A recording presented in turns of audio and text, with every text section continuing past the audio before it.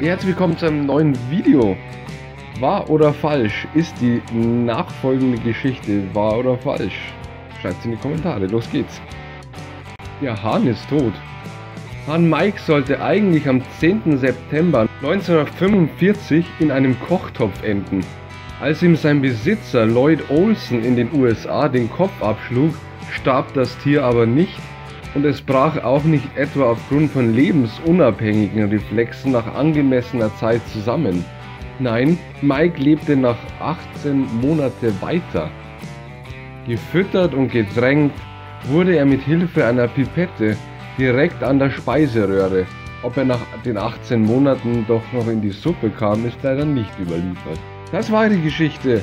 Was haltet ihr davon? Wahr oder falsch? Die Auflösung gibt's in exakt einer Woche. Vielen Dank fürs Zuschauen. Tschüss.